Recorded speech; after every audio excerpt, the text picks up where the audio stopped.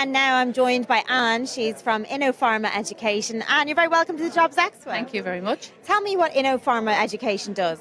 We provide uh, third level training courses to job seekers and people looking to upscale in the pharmaceutical, medical device, and food sectors. And the pharmaceutical industry is massive at the moment, isn't it? Huge, huge opportunities. There's a shortage of, of, of qualified staff, and that's the area. We manufacture a medical device in Dublin, so we also train people in that industry then.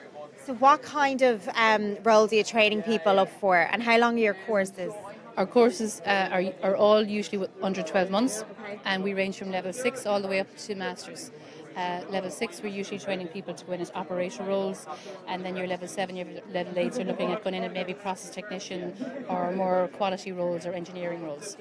So and how long, how long do they take to do? Uh, the, usually 6 to 12 months, depending on the, the, the, the, the course. The level 6s usually take two semesters and the level 8s or the masters would be over 12 months. And are these full-time courses? Part-time, part-time education, so usually two days a week classroom based or we also do online courses okay. as well. And where are the where are, the, the, are they based? Well, I manage the Cork programs, yeah. so I would be in InnoPharma Cork. Yeah. Uh, we also our, our main office is in Dublin yeah. and we also have Galway courses and Limerick courses at the moment. And have you had a lot of interest today from people? It's been phenomenal. Really? Absolutely, because I've been here now. This is my fifth year here yeah. and exceptionally busy.